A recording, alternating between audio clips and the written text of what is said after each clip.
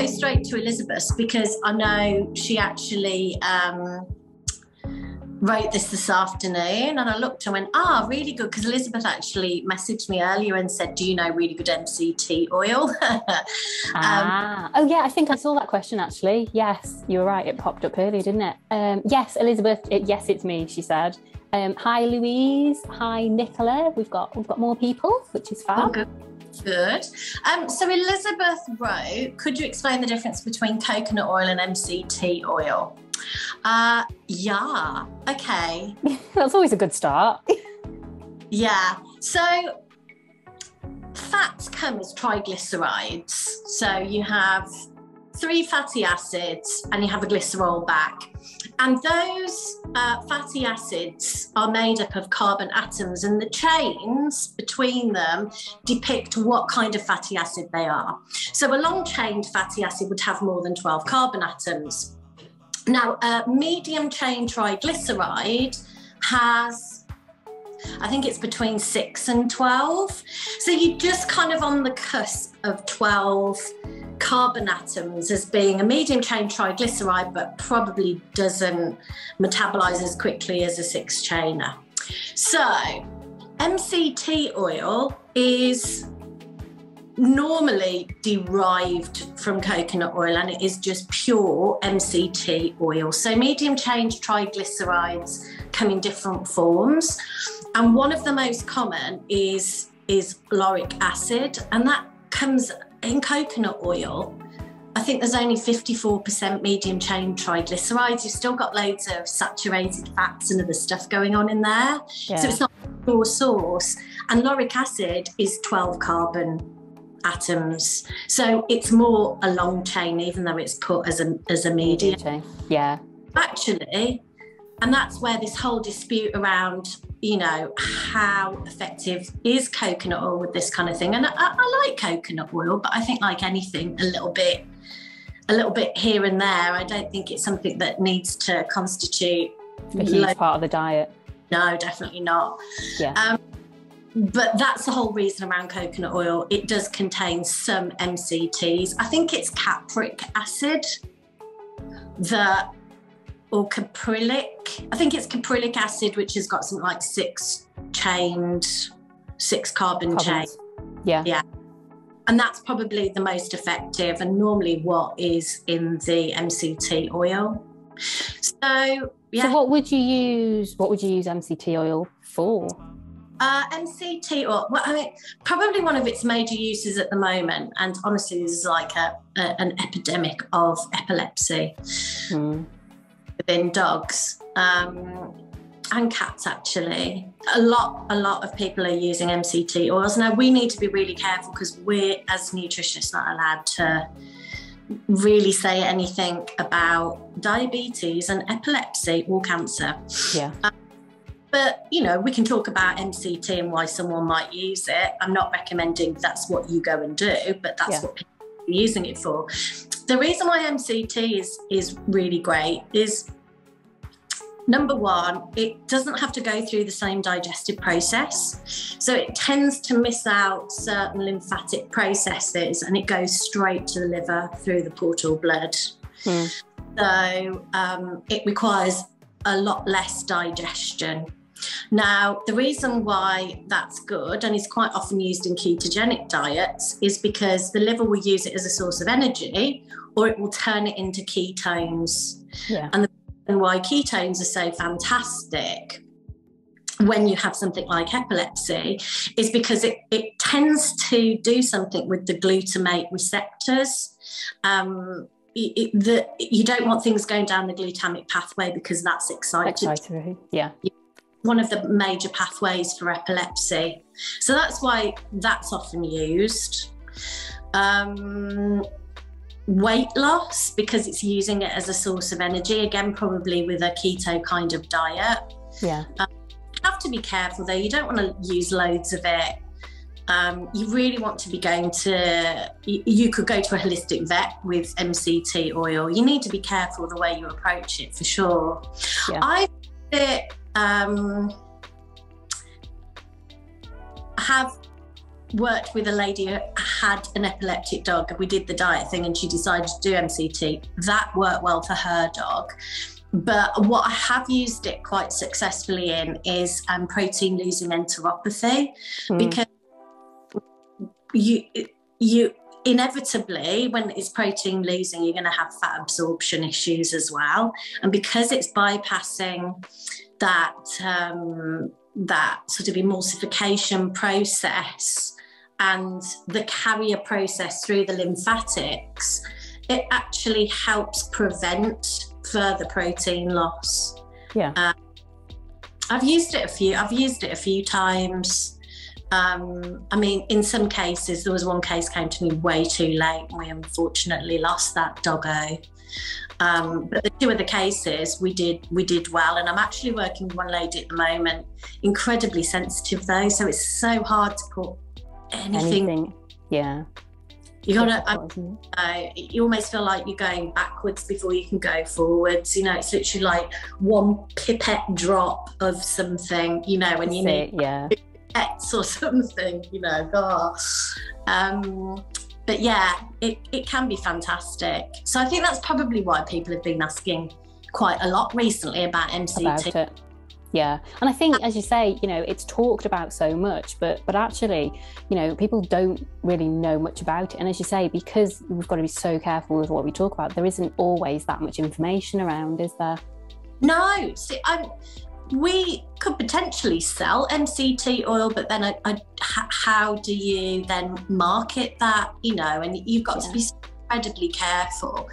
And you want to know that somebody's dosing correctly, which then means you're getting into the dosage side of things, which then makes it medicinal. So it's difficult, isn't it?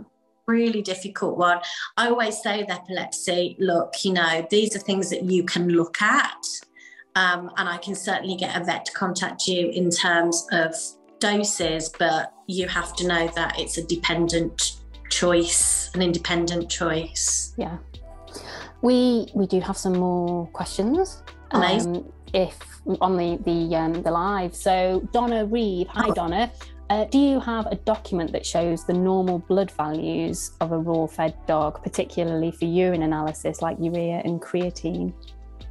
No, um, I mean, obviously, we get those things tested in dogs individually. We'll send them back to the vet if we need to have things checked. Um, honestly, if your dog hasn't got other issues going on, on I always know that there's, um, you know, there's this issue sometimes with people thinking that protein might be too high and yeah. our value. Um, I think it's a case by case anyway. I, I, could probably do a whole load of bloods and they would all vary quite significantly, I think. Yeah. Not, in, I mean, unless they've got something wrong with them, not in terms of you patterning. Yeah. Um, I can't, yeah, I can't really help you more with that. Is there something very specific that you're thinking about? Let me know. I've got one on my laptop so disorganized today. You're not live on your laptop, though, are you? We're, no. we're not going to lose you. no, but I'm looking at the questions that were posted. Let me have a look. Are there any extras I can add to help my dog's fur grow back after a bad? This is Karen, uh, me Kim, Kimon. I'm sorry if I haven't pronounced your name correctly. Um, after a tree pollen allergy, uh, he's now six. He's raw fed, always has been, no vaccines, chemicals. Um, he's having soil based probiotics and uh, berry. Oh, quercetin. Yeah. Okay. Uh, yeah. So normally you'll find there's probably going to be potentially a skin mutation there. If there's a bad environmental allergy and he's lost fur, absolutely, or she's lost fur. He, sorry. Um, I would be looking at checking for zinc. I was going to say, what breed is it as well? Because yeah. yeah. zinc is, is, you know, particularly relevant, isn't it? Zinc, uh, vitamin A uh, rich stuff. I tell you what might be quite helpful is Allerderm. It's got. Um, you really like Allerderm, don't you? I get some really good results with Allerderm as an yeah. adjunct. Yeah. Looking at other stuff. Yeah. is amazing for hair growth. Yeah. Um, you can go up to like 2,500 IU in, you know, like a, a 20 kilo dog.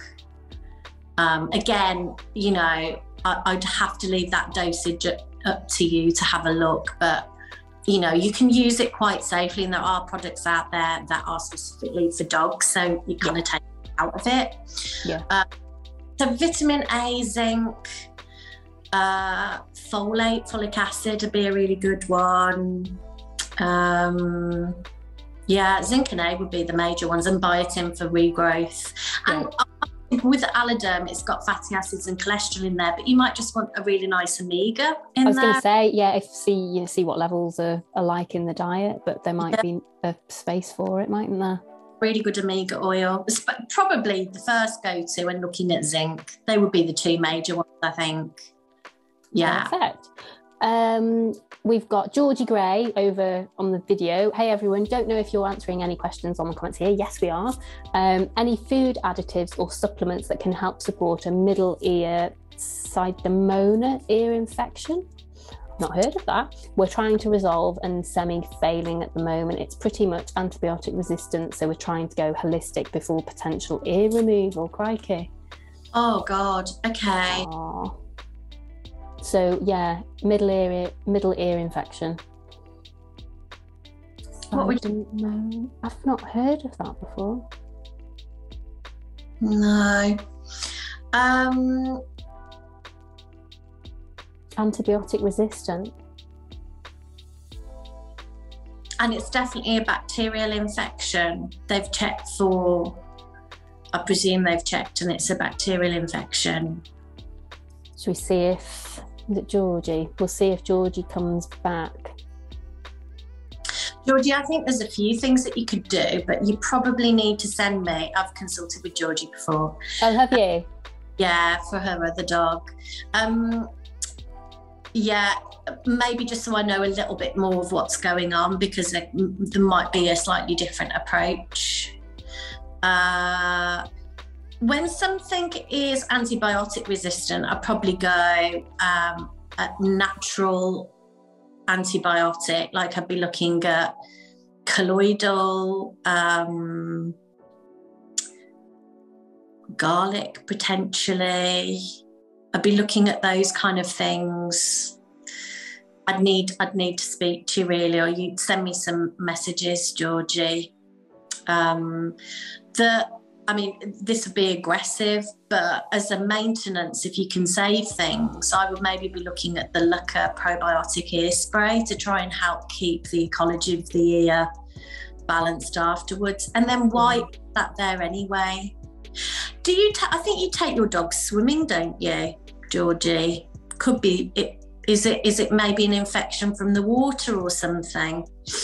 Um, unless there's allergies or there might be something going on with the gut. There could be a number of reasons. Yeah. Can be quite complex, can't they? Yeah, I'd be a bit nervous about going, yes, do this, this, and this without more. Yeah. Okay. That's it. Q&As, isn't it? It's like, hmm. Um, it's a really nasty bug that changes sensitivity very easily. It's called Pseudomonas. So P S E U D O M O N A. Pseudomonas, yeah. Oh, there we go. Um, uh, yeah, I would be looking at an ionic colloidal, um, a spray that you can put in the ear.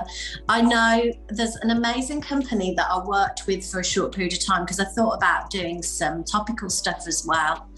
Um, and they had this ionic colloidal um, like gel and shampoo and i had a, uh, a, dog come to me that had got um, a pseudonoma infection that kept changing on the skin and we did loads of different stuff and really worked uh, it had high clostridium in the in the gut so we worked on that and got rid of that wow uh, but yeah the the infection because it's a really furry dog. Yeah. Was really difficult and that worked. Yeah. I mean, I, I, kind of feel feel with something like that, it's not going to make it worse and you're not going to lose anything if you've gone the traditional route and you don't know what else to do because you yeah. obviously, you know, you, you don't want the alternative to happen. Um, thanks, Alison. I will do. It's Ren who struggled with reactivity, so really don't want to lose the ear. But as it's middle ear, I can't get stuff into it easily. So thinking maybe if we can get something in her body to support. Yeah. I'd be going. I'd be looking at the at the gut. So we'd be looking at, at really good probiotics, a little bit of liver support, Hmm. some antibacterial type stuff, Yeah. Support that body system. ionic colloidal for the ear itself. Um, you need to be careful though, because when if it's bacterial and it keeps forever changing, even though colloidal, you know, can have that antibacterial um, effect, you're still then also moistening the ear, so you need to be quite careful how you do it. That's that's the only thing with ear stuff is that damping. And and depending on the type of ear, as you say, it, it stays warm and and moist, doesn't it? And you know, it's perfect breeding ground, isn't it? And as you say, that's why the swimming dogs, they always seem to get infections, don't they? I do. I love kissing the the whippet's got very silky ears. I can't see the things that were previously posted. Um, I know there was a lady who was talking about skin allergies. Um, I presume atopic dermatitis, and it, it, an 11th, 11 month old puppy, and a Aw. generalized diet. And she wasn't sure what it was, and there were persistent ear infections. I would say to that lady, and I'm so sorry because the name's not um, not come up because I can't see my laptop. Um, I'll that get it up now. yeah, if you don't mind, Yeah. I'd be looking at gut health. Absolutely. Again, I'd be looking at the Looker um, probiotic ear spray for a maintenance. Zymox is a really good um, eardrop just to use intermittently. Uh, I I wouldn't use it consistently. I think you can use it up to seven days, but it's a really good anti inflammatory. Um, but the main thing is you've got to imagine the ecology of the ear isn't right, and quite often that can be correlated to the gut microbiome, what's going on there, is there infection, are there, is there leaky gut, so the endotoxins going through into the blood system and affecting the ears. It might not be environmental. Yeah. And now you said that your vet has said not to feed raw, and I'm not a die-hard raw foodie, although I do, do like a species appropriate diet. Um, I think essentially, if you wanted to do like incremental steps and a stepping stone, I'd maybe look at some lean um, novel proteins. Happy Dog do some, um, like kangaroo and goat. Yeah. Kangaroo might might be a decent one. You only need to get a tin or two and just try a little bit on top of the current food that you're feeding, just to see got more reactivity. It's a lady called Sonia, and he's currently on Hill's prescription diet, tins and dry food, as recommended by the vet. Um, Yeah. Gives him a tin of sardines or mackerel a day, which he loves. Most of his puppy food contained grains and chicken, so I'm avoiding those two at the moment. Yeah, I mean that that food. I always say like uh, absolutely everything. Everything has its place, and I, I'm not going to start slamming prescription diets because sometimes they can be, on the rare occasion, a helpful stepping stone. And I say stepping stone in inverted commas. That's the most important bit. Hmm. Be, but you only have to look at those ingredients to know that a lot of those ingredients genuinely have no business being in a dog food. Yeah. Um, so I would maybe be looking at trying a single source protein like Happy Dog Kangaroo or, or something, just as a little trial, just to see. But I would be looking at, um, I'd be looking at gut health majorly and a natural product to try and, and sort of keep the ecology of the ear sort of That's good. Um he's just finished a course of, of steroids. So do you have sort of a go-to plan after a course of steroids to sort of support that that sort of process or Yeah, the only thing is something like that really requires a consultation because dependent on how they responded to steroids, so you can go, you can sort of do different things dependent on response. Um, if dogs were thirsty and didn't cope that well on steroids, I'd take a slightly different approach to if they were okay on steroids. If they weren't that hungry, I'd take a slightly different approach. So I'd want to try and help regulate that immune response a little bit and look at the gut. That'd be the first thing that I'd do. Yeah. Um, He's got a lot going on, hasn't he? At 11 months, bless him. Uh, and and also really simple things like and not not trying to be controversial but do you vaccinate? Are you flea and um, worm treating? You know the flea and worm treatments are quite damaging to the gut microbiome.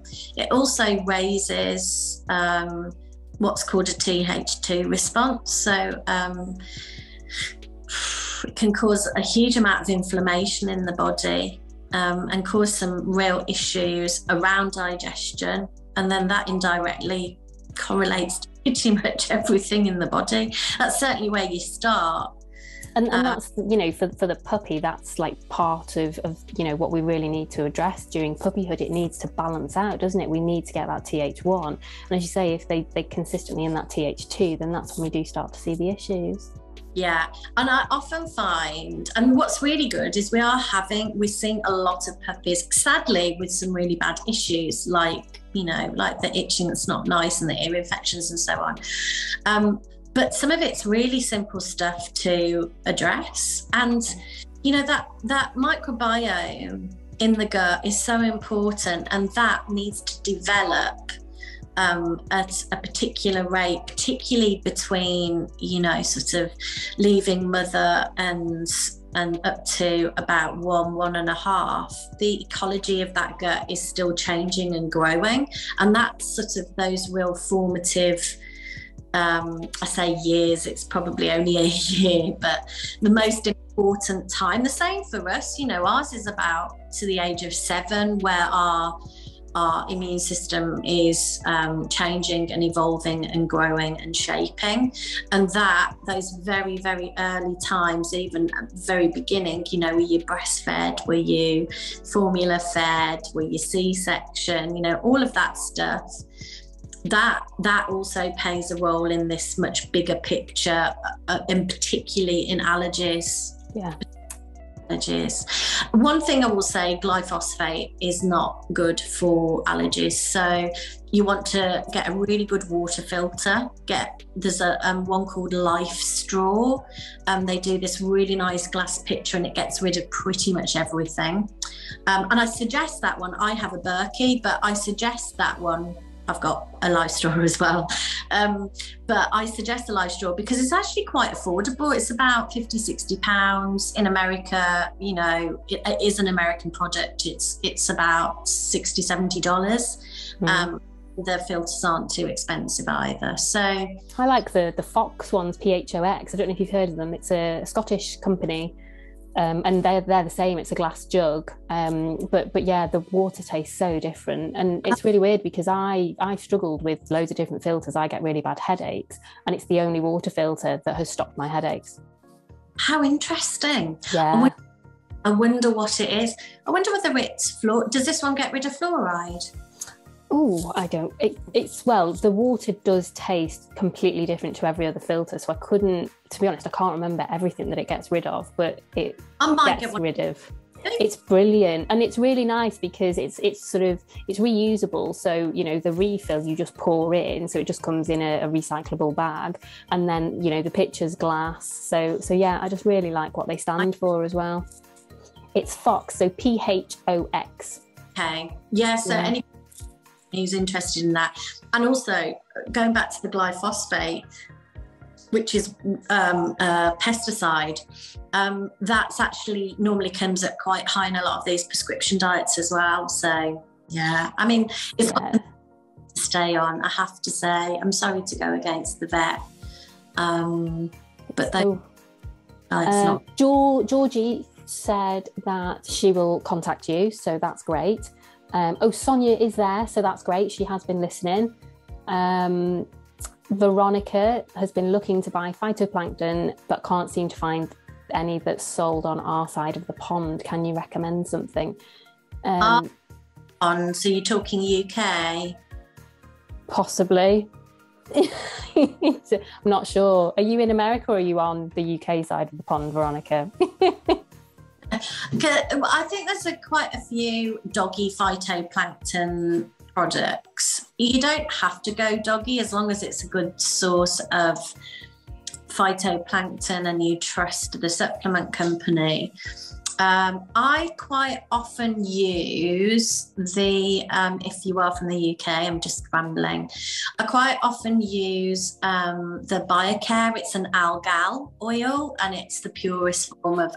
That, uh, and they sourced it high and low. Um, it's a really nice one, but it comes encapsulated. But they're not too they're not too big a capsule, and they're not too hard to break either. If you wanted to then put into the food. Perfect. Um, so that's if you're UK, Veronica. If you are the other side of the pond, then we'll we'll think. Actually, Adored Beast have got a, a, a, new one out, which looks really lovely. Um, I can't remember something about the sea. Oh, I can't look. My laptop's down. Um, yeah, adored. If you if you look at Adored Beast and actually put in the last time I looked, they were actually out of stock.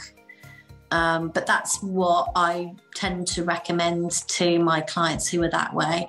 I really love the um, liver tonic from Adored Beast, um, and I really like their their phytoplankton oil. Veronica, Europe. So yeah, yeah, fab. Perfect. Um, Sonia, definitely only a short term diet, which is great. Um, thank you. We'll book a consultation and he's he is fully vaccinated. But you can get some more info with consult, which would be fab. Georgie, uh, what's your go to flea and worming instead? I've never felt confident in not using that prescribed worming yet.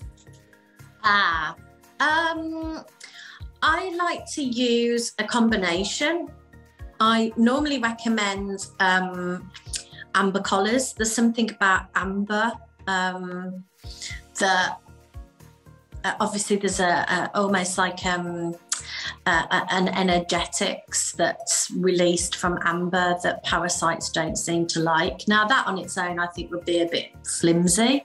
Mm. So I like the idea of an amber collar with a spray um, yeah, I like repellents. I like the the Dermadog. Yeah, I have, I've uh, some clients that use the Dermadog and really like it. I quite often recommend Don't Bug Me, which is Tammy's um, product. She actually oh. Oh, really? Yeah, and she also sells the amber collars. Ah. Uh, and she's just developed. I actually um, had a little hand in it. A flea and worming um, intestinal. Um, so it's got um, some neem, not not loads because you don't want it too harsh, but it's got some neem and pumpkin seed extract and um, a little bit of ginger, but a bit of peppermint. It's really nice. It's like a little bit hot, little bit cool. It's very gentle. Um, and lots of dogs have really been liking it. So I'd probably recommend that. It sounds like I've got some shares in greens. I don't, but those are the three that I I would probably yeah. I mean, for you know, for me, I I just think worm count with worming, and then you know you you know exactly where you're at, don't you? Me too.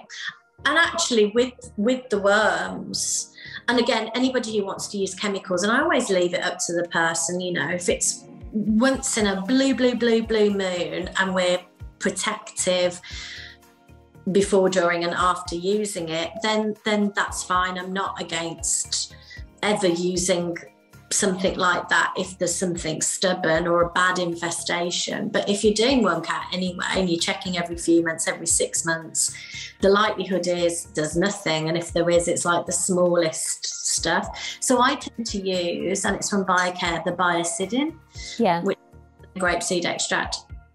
And that's brilliant. That, you know, you leave it, you treat for seven days, leave it for three weeks, retest, and inevitably um, it's it on.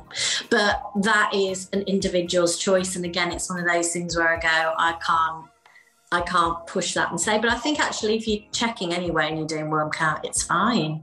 Yeah. Um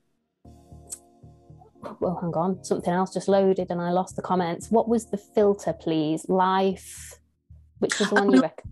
Life Straw. Life Straw. Yeah, they're a mate. They're like they were a camping company and then they kind of went into this armageddon kind of stuff where you know if you're stuck somewhere and you can't get any water supply and they've got these like you know they're almost like little test tubes and then they've got these bottles Ah, yeah.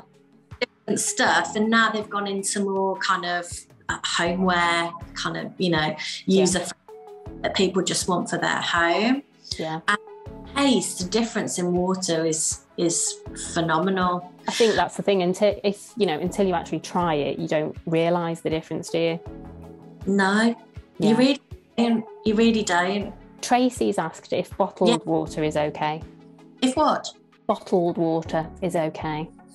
Yeah, I just think it ends up being a resource, doesn't it, on the planet? Um, and also, if it's plastic, where has that bottle been? Where's it been sitting? Because, you know, plastic sweats and PCBs, a lot of those um, micro microplastics end up going in water.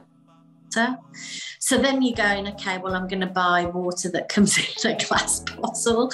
And then that's just, yeah, really Yeah. heavy source and really expensive. And And really, you know, we, we do have access to some great filter systems, don't we? We do. I honestly think it's so much easier than having to go to the shop and haul it back and using that those plastics. Um, you know, I even go, I kind of feel a bit sad about Fiji and Evian, which are probably, you know, the, the two best waters, some of the best waters on the market. And I just go, but it's in plastic. Yeah. So I, yeah, I kind of think that's sad. Um, but yeah, I would get Perfect. Get filter, Tracy. Perfect. Um, I think, and you know, on that note, we've we've answered all the questions, and we've we've just hit past seven o'clock. So Super. Uh, Yeah. Not long one, which um, you know, sometimes if I'm here on my own, I, I tend to monologue. oh, Yaz is here. Hi, Yaz. I bought a Brita filter for the dogs. Now I won't drink tap water. It's true, though, isn't it? Once you've tasted, you don't want to taste It tap really- water, dear. Yes. Although I've got to say, out of all of the filters, sorry, Brita, but I think Brita's one of the poorer ones. Sorry to, I really feel like I'd just Burst the bubble. little pee pee on a parade. I'd, I'd maybe get the Phox. It was, I- it expensive. No, the jug, I think it was about thirty pounds, and then the refills. You, get- I'm sure it's two months refill for like fourteen pounds. So it's not even colossally expensive. Um, And and what I mean, you know, it depends on whether you like technology or not. But the the way that you keep on top of your filter is you just download the app. You tell the app when you um, replace the filter or just refill it, and then it just tells you when you need to be thinking about refilling again. So. You know, you, That stuff. It's such a good little salesy gimmick, really, isn't it? Yeah, and you know the company's really good, and you know it's Scottish, so so yeah, I do I do quite like them, and you know for me it was the taste, it and my headaches just disappeared. So, and you know I tried so many different filters. It's crazy, isn't it? It is. It really is. But I mean, the Brita definitely is going to filter out some of the stuff. Yeah, It- Out things like estradiol, because the highest contaminant in our water is the pill, which I just think is so lovely. I know it's and you know antidepressants and you know all of all of those meds. It's All of it. when you look at the testing that comes back, it does make you scream a little, doesn't it? I can't remember some. There, there was something that showed up high in somebody's blood, and they'd never taken it before. I can't remember, and that was from the water. I, I'll have to find the article. It's crazy, isn't it? Absolutely. Oh, Louise, I've just bought a Phox. They've given me a 25% discount for friends. There you go. Oh yes, Louise. um, what? We have zero water, so that's Elizabeth. yeah, that's a decent one. Um, Yasmin, oh my God, Brita. Sorry, Yas. Just pee-peed on your, your Sorry. parade. Um, Liz Goodall, what would you recommend? Sorry, missed that make. Oh, it's Phox, P H O X. Um, Lizzie, loads of questions have just come in, literally. Oh. Um, can you overdose on probiotics? Sorry. can you overdose on probiotics? Look, I think there was an awful lot around the safety of probiotics, but what we don't have is really long term data, not even on the human side, and we're far more advanced on human research than dogs. So, my feeling is this pulsing, having periods where you might come off. I mean, you know, if you're feeding a raw species appropriate diet and it's uh, diverse and you're just adding bits in there and then, then that's fine. Now, Liz, I know obviously you have um, a doggo that has, is was it Liz, Liz's question? Who's Yes, it was. Yeah. Um, I'm sure it was. Mm. Yes. No, sorry, Lizzie Divine. Oh, Lizzie, sorry. Yes. Um, yeah, I think I think I would probably change or leave it for a bit. Um, yeah, we don't know how long term it shapes. It could change things. So when you look on the human side, one of the things that became really, really popular and actually still is, is these multi strains. And these companies were just shoving in all these different strains. Now, the reason why, and I obviously I work with the microbiome team in Biocare, so uh, I, I, you know I am kind of probably a little bit leaning more towards that. They went with solid research that had been going on for decades, and it was based on four main strains. Um, and it, then there would be interjected the odd strain that might have a specific action for a specific problem. And I really liked that. And I thought that was less complicated rather than shoving a whole load of stuff in. And some of the newer research is saying actually there are some strains that compete with or can have a negative effect with other certain strains. And, and that's what is becoming more and more apparent, isn't it? You know, it is, they're identifying certain strains. So you do have probiotics for specific things. Obviously, you can't say that it's going to sort that problem, but it, we know it acts on those areas. And then Yeah. other strains have actually made situations worse. Yeah. So I'm a big believer, a little bit like herbs in pulsing.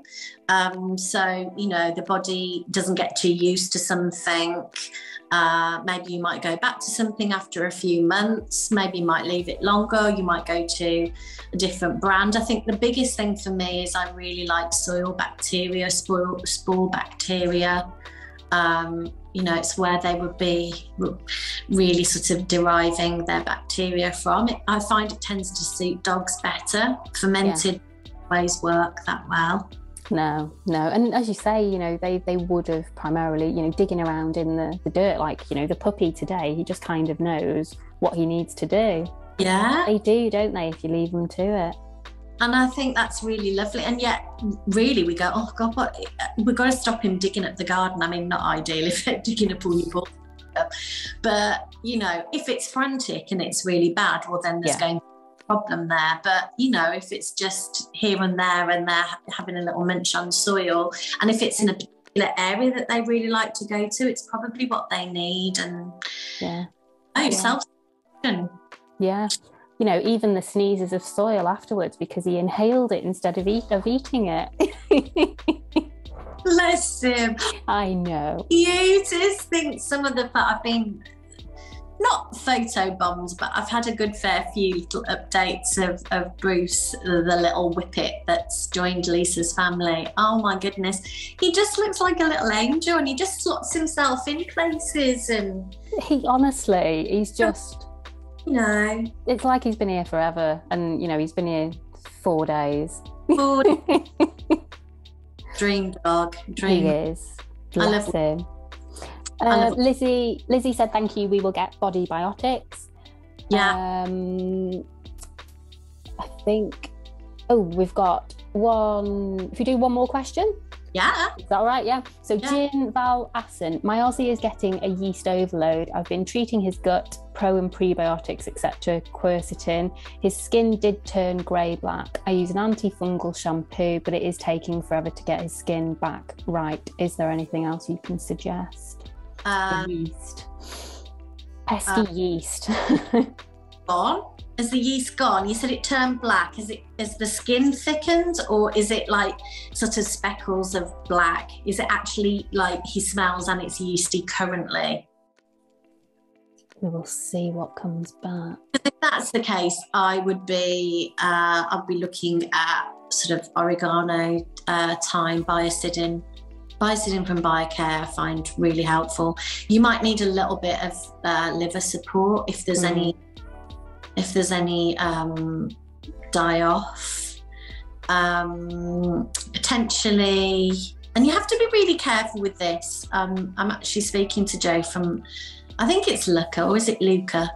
Um, I never know how to pronounce it. We'll, we'll No, go with. Joe needs to educate us on that. Uh, but I did say I would chat to him actually because you know we do recommend his products. Um, but yeah, really good to be looking because the skin has its own microbiome. So there's inflammation there, the ecology isn't right. So we want to dampen down that inflammation, work from the inside, be looking at probiotics, probably after or taken away from something like biocidin. Um, It, potential. does, it doesn't smell. He's feeling so much better. Um, Okay. And he's winning in obedience. Ah, well then that's all good. That's all we want. Um, so pro- probably probiotic and a probiotic spray for the skin. If it's if it's dry, um, I would probably get colloidal can be absolutely amazing. That stuff that I used from America was South America was smashing. I just you know we're doing supplements first. getting there. We are getting there. Um, Karen, why would a dog self-select calendula? My dog chose it while walking around the garden centre. Ah, um, calming effect, really good for um, it's soothing, calendula. Um, really good for skin health. Uh, and it's amazing for the lymphatic system, which you know a lot of dogs don't always have that much aid. I mean, the, the lymphatic system has its own pumping system.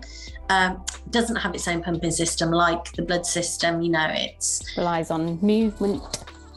reliant on movement. And whilst a lot of dogs tend to exercise a lot, he might just want a little extra helping hand. Yeah, I mean, sometimes self selection can actually tell you something. I mean, I'm, I'm not trying to imply like there's something wrong with the lymphatics, but you know, yeah, keep, keep, just keep an eye out and see what else is selecting. Calendula's lovely. It is. It is. Um, I think I think we're done. We've answered the questions, which is fab. So thank you, thank you for joining us, everybody, and thank you for the questions. Yeah. Uh, thanks, everybody. I'm sorry, I think Helen Burnett actually asked about yeast and probiotic, but we actually answered um, With other questions, yeah, Yeah. yeah, and we've we've got yeah we've got a blog on yeast. Have you done a live on yeast? I've done, I think I've done a live on yeast. Uh, I think I did that with Proflax, didn't I? Did I? Was that Proflax? Maybe maybe we need to get you I've to do I- on on yeast. Let's do yeast. we'll we'll we- put it in the planner. Yeah, we'll put it in the planner and we'll do that one. We'll do that one together. Okay. Yeah. You're you're quite well written on yeast. And I'm it all day. yeah, okay, we'll we'll plan it in the diary. Um and yeah, can put- we've Well to the blogs. yeah, yeah, definitely. Perfect. Everybody, yeah. Oh yeah, yes, please do yeast. Okay, so we've got a few few requests for yeast. And someone else has actually asked a question. Can you put Luca, Luca directly in the ear? My 18 month old yeasty ear seems wet rather than dry, so I've been spraying it on a cotton pad. Yeah, I'd just do it with the cotton pad. Yeah. Yeah. Perfect. maybe even call I would call um Luca and and and double check because obviously they know how they're Product Prod- works. yeah. Yeah. I'm always really careful. I mean, even even colloidal I tend to put on something and put and suggest to put in the ear rather than straight down the ear. Yeah. And it's a bit of a shock as well for the dog, isn't it? A spray in the ear. Yeah, it's nice. Yeah. Um, okay, we've got quite a lot of requests to do yeast, so we'll put it in the diary. Thank you for tuning in, everybody, and um, keep your eyes peeled for our yeast live. And also, we will have another live next week, but I can't remember what it is next week. I do liver shunts. Yes, you are. Yeah, liver shunts. There you go. Yes, yes, it is. That's our topic next week, liver health, isn't it? And then you're doing liver shunts. Fab, fab. Yes. Right. Perfect. Week. Yes. Take care, everybody. We will see you soon. Lots of love. Bye.